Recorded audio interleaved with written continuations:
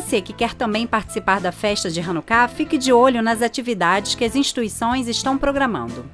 A Sinagoga Shell organiza uma grande festa pré-Hanukkah para adultos e crianças. Após a Shaharit, a reza da manhã, será servido um café. Haverá recreação infantil com espaço baby, piscina de bolas, oficina de Hanukkiot e sorteio de um patinete e um triciclo, dia 24 de novembro, às 8h30 da manhã. No dia 27 de novembro, o Lubaft Universitário e a PUC Rio realizam juntos o acendimento da primeira vela de Hanukkah, às 19 horas na faculdade.